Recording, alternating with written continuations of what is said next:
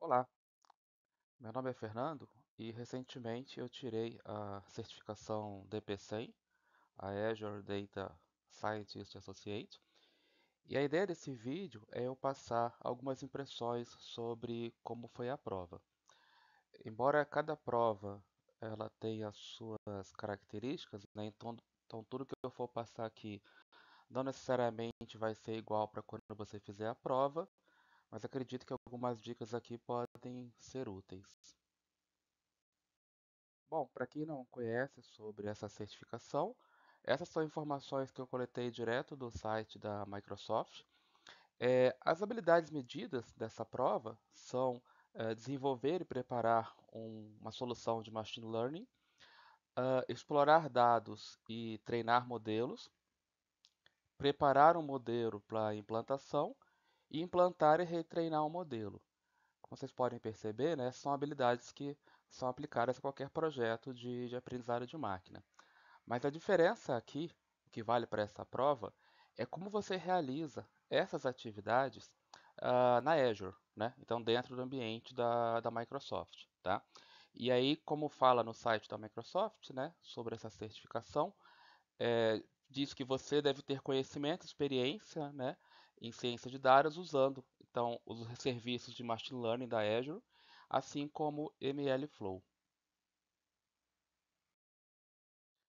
Sobre a prova, de maneira geral, a prova é feita de forma online na empresa eh, Pearson. É, é uma prova que é feita em até 100 minutos, então uma hora e 40. É, eu acabei fazendo em uma hora, mas você tem todo o tempo, né, para fazer esse tempo todo para fazer essa prova, né, uma hora e 40 aí. Eu não gosto muito de ficar revisando, a menos que eu tenha alguma dúvida mesmo, mas normalmente eu faço a prova rápido. Mas, como eu disse, né, você pode usar essa 1 hora e 40 para fazer a prova com bastante calma. São 50 questões, né? Então, você tem 50 questões aí para fazer durante esse tempo. É, você pode escolher vários idiomas para poder ver a, as questões da prova, né? Tem a opção para português é, eu prefiro fazer em inglês, né? eu acho que fica é, mais de acordo com o material é, oficial, né? E tem muito vídeo sobre essa prova também que acaba sendo em inglês, então eu prefiro fazer a prova em inglês. Eu digo que eu não sou uh, fluente em inglês, então, mesmo com o meu inglês intermediário, eu consigo entender tranquilamente o que está escrito na, nas questões. Essa prova ela tem um custo para o Brasil de 100 dólares, né? Então, para pessoas do Brasil, ela custa 100 dólares, que aí depende de quanto está a cotação. É, para essa prova, eu consegui um voucher de 100%, então eu não paguei por ela. E aí eu recomendo ficar atento no site da Microsoft, Microsoft Learning, porque vira e mexe tem algum tipo de desafio valendo algum voucher. Né? Então, todas as quatro certificações que eu tirei da Microsoft foram usando voucher com promoções da própria Microsoft. Então vale a pena ficar, ficar ligado no site Microsoft Learning e para algum desafio que eles promovam, né, que valendo voucher. É diferente das outras três certificações que eu tirei, que são certificações de nível é, é, básico, né, a DP900, a I900 e a Z900. É, essa prova aqui, a DPC, ela tem renovação obrigatória em até um ano. Então você precisa, e até um ano depois que você tirar a certificação, você precisa renovar. Tá? A renovação ela não tem custo, mas você precisa fazer renovação, senão essa certificação ela vai expirar. Tá? As outras de nível básico, né, que eu falei, a I900, a Z900 e a DP900, elas não têm prazo de expiração, então você não precisa renovar todo ano. Já a DPC, sim. Bom, e como é que foi ah, o dia da prova no meu caso, né? Mas normalmente o que eu vou falar aqui vale para todas essas provas online de certificação por essa empresa aí. É, mas falando de conteúdo, né? Eu fiz uma revisão muito básica, assim, bem no dia da prova. Eu fiz a prova, estava marcada para as 11 da manhã de um sábado, né? Então eu acordei umas 8 horas e fiquei fazendo revisão, né? Passando bem rapidamente pelos conteúdos do material oficial, que eu vou falar mais à frente né? Mas eu fiquei fazendo uh, uma revisão, né? Olhando um pouco alguns pontos ali para poder lembrar de alguma coisa na hora da prova. Mas, e aí vale uma coisa que eu deveria ter feito, né? Como eu já tinha feito lá o estudo dos cursos autoinstrucionais da Microsoft, é, se eu tivesse feito um resumo em cada tópico, né, bastaria eu ler o resumo. Eu não fiz isso, tá? Mas recomendo que para quem for fazer essa revisãozinha de final de antes da prova, vale a pena fazer isso, né? Ter um resumo, que fica muito mais fácil. Bom, uh, sobre a prova, você precisa, com a prova online, né? Então tem todo um cuidado para não ter fraude, essas coisas. Então tem que ter a preparação do ambiente. Então você precisa estar num local uh, que você não vai ser interrompido por ninguém. Então se você mora com mais pessoas, né? Precisa avisar que você não pode ser interrompido. É, a sua mesa, onde, onde vai estar o seu computador, tem que estar vazia, apenas com o seu computador. É, e, a, e, as pessoas pedem, as pessoas que são os fiscais de prova, para você ligar o cabo de força. Tá? Eu tinha desligado para poder vir a câmera, eu vou falar sobre isso, mas eles pediram para ligar o cabo de força. Né? Então a recomendação deles era a prova. Então a mesa não, não pode ter nada, absolutamente nada, apenas o, o, o seu computador onde você vai fazer a prova. Tá? É, é, importante fazer o teste do aplicativo. Então essa empresa, a Pearson, ela ela envia, né, acho que um dia antes, acho que alguns dias antes também, ela envia instruções para você fazer o teste do aplicativo. Você tem que baixar o aplicativo, que é o aplicativo de prova, e é importante fazer o teste antes, não deixa para fazer em cima da hora, especialmente se você nunca fez esse tipo de prova, tá? Eu já tinha, como eu já tinha feito as outras três, né, então eu já sabia mais ou menos como era. Então é importante fazer os testes, tá? E é, a minha prova estava marcada para 11 horas, né? Eu, como estava fazendo aquele, aquela revisão de última hora, né, eu acabei entrando é, dois minutos antes. Isso não é prejudicial né, para fazer, é, mas vale a pena entrar com um pouco de antecedência, uns 20 minutos antes. Por quê? Porque você tem que. Os fiscais de prova eles fazem toda uma checagem né, dos seus recursos, do seu computador, do seu ambiente, e isso não é tão rápido assim. Né? Então vale a pena entrar um pouco antes, né, uns 20 minutos aí antes do horário marcado. Tá? É, no meu caso, como eu fiz a, essa prova faltando um dia para acabar o, o, prazo do voucher, né? Então, pela, pela primeira vez, tinha muita gente na fila, assim, esperando para é, fazer essa verificação. Quando eu entrei, tinham 175 pessoas na minha frente. Assim, nunca das provas, das outras três provas que eu fiz, é, é, tinha tanta gente assim na frente. Acho que como muita gente deixou para fazer a prova em cima da hora, né? Então tinha bastante gente aí esperando. Então estava marcada para as 11 horas. Eu entrei faltando 2 minutos. Eu comecei a prova às 11h33. Então foram 35 minutos que eu demorei, né? Para esperar. E é importante, se você nunca fez esse tipo de prova, né, que é, as instruções, a, é, a comunicação com, a, com, a, com o fiscal de prova é em inglês, tá? E então você precisa ter um mínimo de entendimento em inglês para poder se comunicar, porque a pessoa vai pedir é, para você virar a câmera para é, ver o que está atrás do seu computador, para ver o que está na frente, do lado direito, do lado esquerdo. Ela pode dar algumas instruções desse tipo. Então é importante que você tenha um mínimo, uma mínima compreensão de inglês. Tá? Para essa parte não tem pessoas que falam em português. Tá? As questões de prova sim, né? mas a checagem antes de começar a prova é em inglês.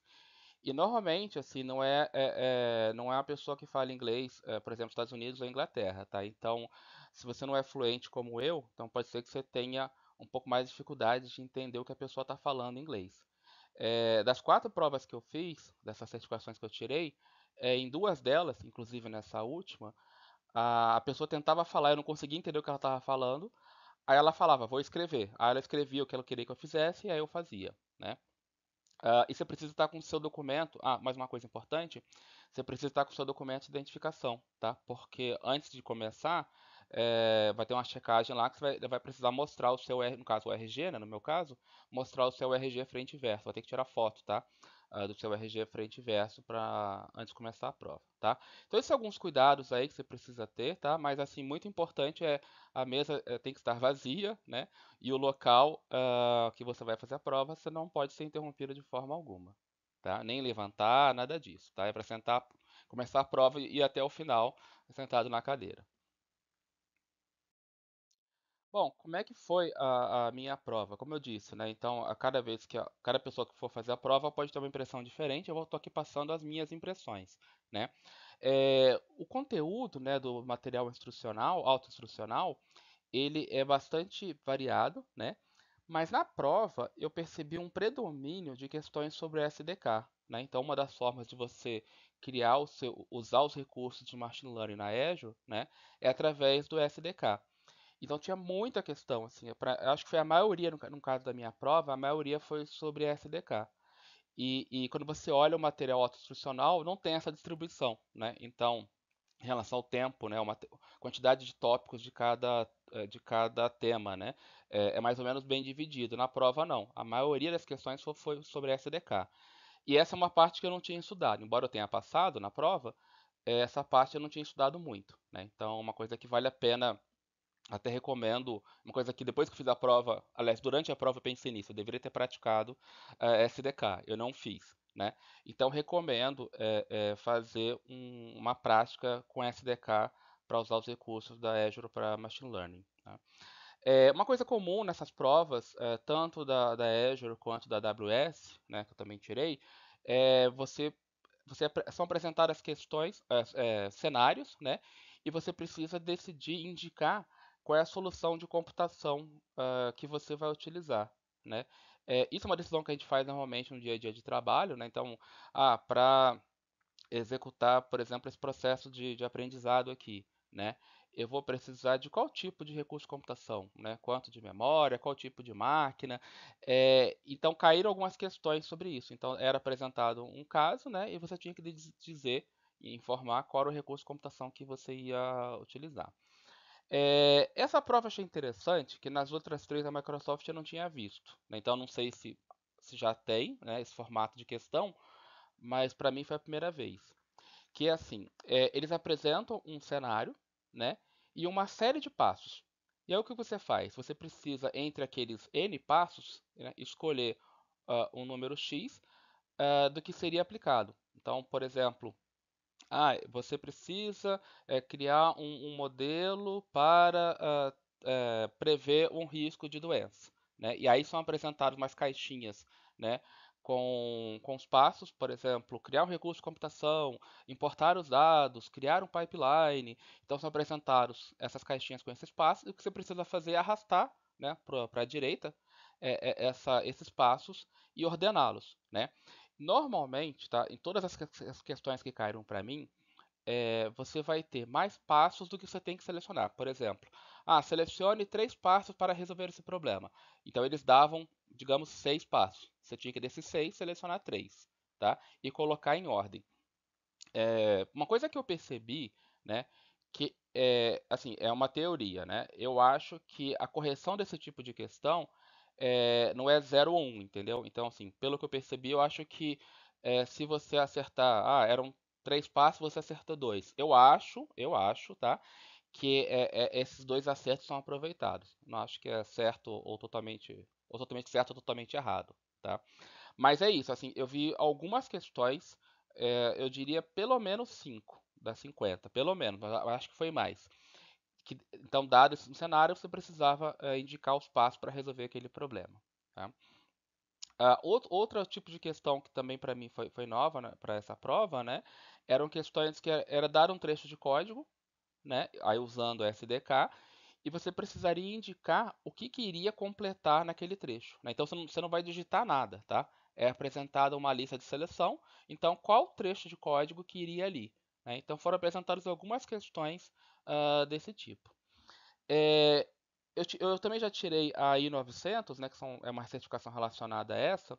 É, na I900, assim como na DP900 e na Z900, é, boa parte da prova são questões conceituais sobre o assunto. Né? Então, a I900 sobre aprendizado de uma, é, sobre inteligência artificial né, e aprendizado de máquina, a DP900 sobre dados e a Z900 sobre nuvem. Então, são apresentados ah, questões né, é, é um certo número de questões que são conceituais sobre o assunto independente do fornecedor de nuvem.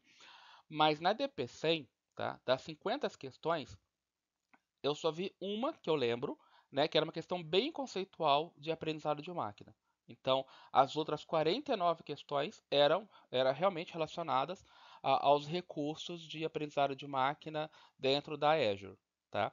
Então, essa é uma grande diferença dessa prova DP100 para as outras três que eu já, já tinha feito. É, é claro que né, é, o, o, fato de o conhecimento, os conceitos de aprendizado de máquina né, são bastante importantes é, para fazer essa prova. Você não vai fazer essa prova sem conhecer né, o que é treinar um modelo, uh, o que é fazer particionamento de, de, de, de dados, o que é retreinar, o que é o, o processo de AutoML, né? É, você não vai conseguir fazer a prova se não souber isso daí. Né? Então é importante ter essa parte conceitual.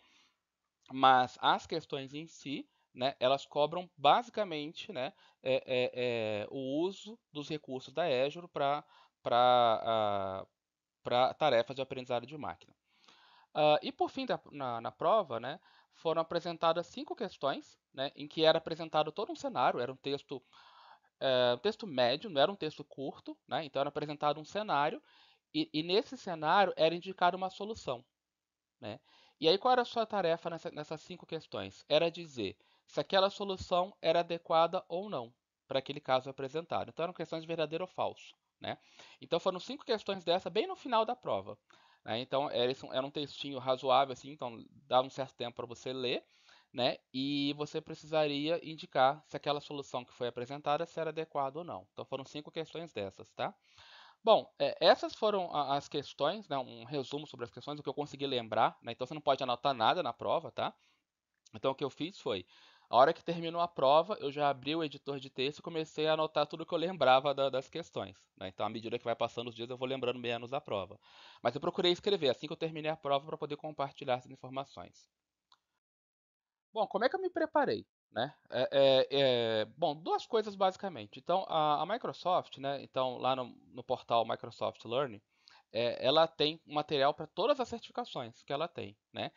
E então tem também uma trilha de estudo, então é, é auto-instrucional, né? então você não, não, vai ter ninguém te explicando nada, você vai ter um, é, passos, assim, coisas para ler, né? basicamente, e experimentar. Então você tem lá é, esse, esse conjunto de tópicos né? que é apresentado no, no site da, da Microsoft Learning. Né? Então é, é, bastante material, tá? Embora tenha aí uma quantidade de horas, né? Você vai ver que tem material tópico, por exemplo, duas horas e alguma coisa, três horas e alguma coisa.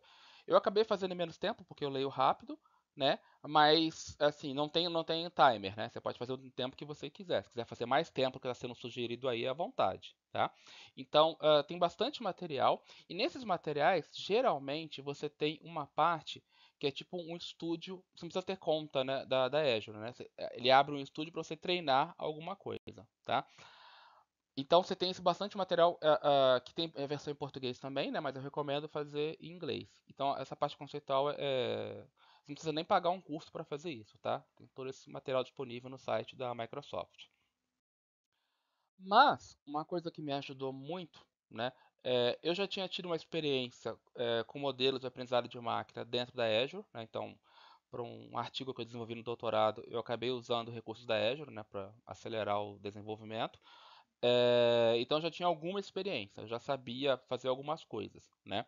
Uh, mas uma coisa que eu fiz também, né? Então depois que eu, eu acessei todo esse, esse material auto-instrucional, eu usei a minha conta da Azure, né?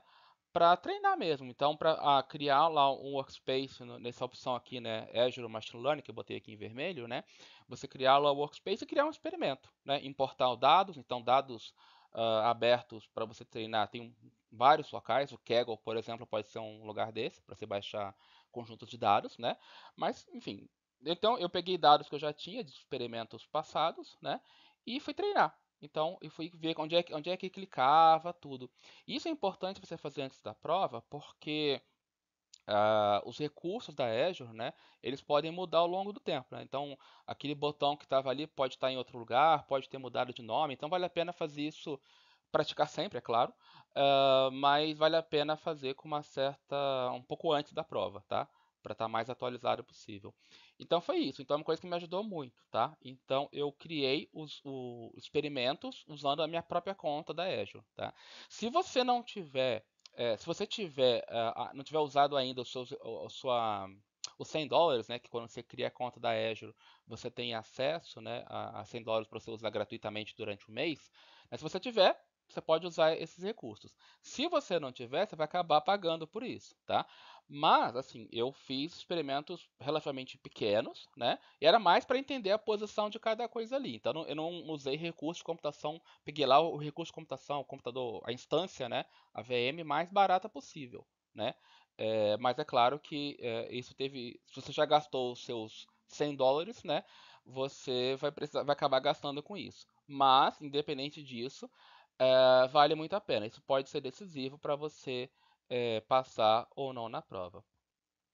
Bom, uh, essas foram as minhas impressões sobre a prova. espero que eu consiga uh, compartilhar esse conhecimento com vocês aí, que seja útil, né, quando vocês forem fazer essa prova. E se você tiver outras impressões, fica à vontade para deixar nos comentários do vídeo aqui, né, é, outras observações que você fez para a prova que pode ser útil para outras pessoas que forem assistir este vídeo. É isso, muito obrigado.